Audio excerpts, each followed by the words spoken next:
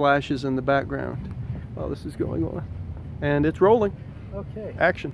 Good afternoon, everyone. I'm Don McClure. I'm the administrator for the Pennsylvania Off-Highway Vehicle Association here in beautiful northeastern Pennsylvania, Mast Hope uh, Resort and uh, Development. It's my understanding from my colleague today, Sheldon Langer, that uh, Mast Hope was founded in 1978. There are 1,300 homes here, 28 miles of paved road, and the purpose of this uh, village is to combine the important, uh, to combine uh, ski activity in the winter with ATV operation in the summer. They have a fantastic and unique model for operating ATVs here, and we want to hear from Sheldon how it works. Uh, this system works here at Mast Hope. Now, Sheldon, how many ATVs are registered here with this? Uh, right this now, there's 630. 630. And how do you manage all that? Well, first thing, everybody's got to register every year. Uh, they have to keep their insurance up to date. Uh, they have to keep their DCNR plate up to date. Okay. Um, over the years, now I bought my first ATV out here in 1991. And it's been going on that long. There were very few ATVs at that time. Okay, and it built over the years. Um, and so we started adding rules.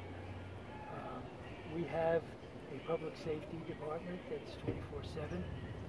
Um, they are like a police force. They are armed.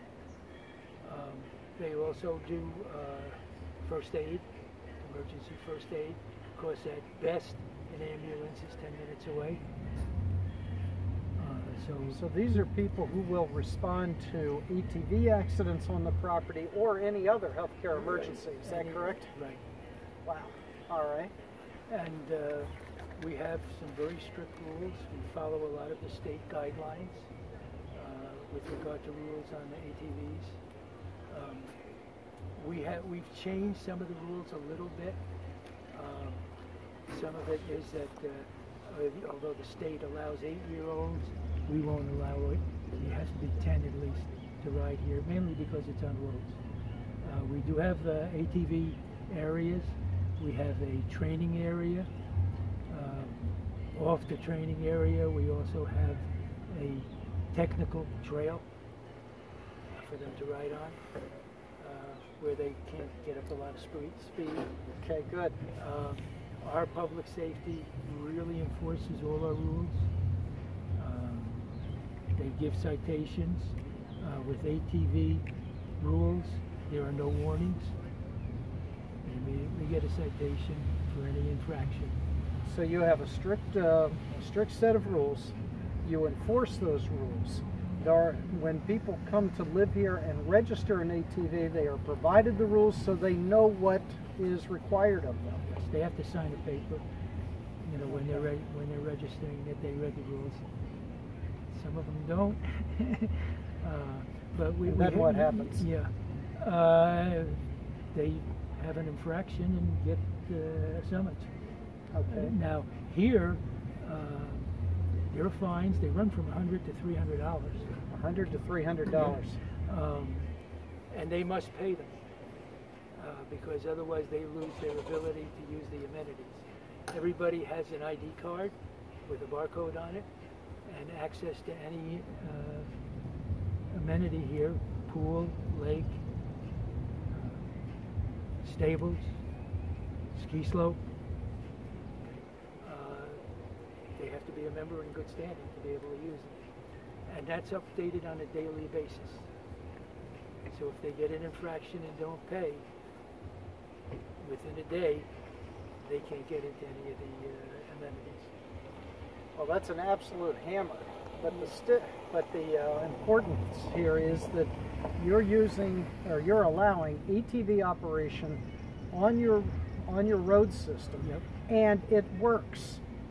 You know, there are many uh, organizations, there are uh, uh, townships and uh, other areas throughout the state where they say there is no way to enforce, and therefore we're not going to allow ATV operation.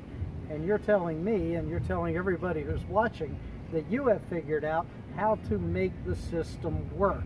We, we just enforce all the rules. Um, in fact, one of the rules that people have a problem with is the fact that uh, at dusk, no ATVs on the roads. Okay, and they will get a citation if they're on the road.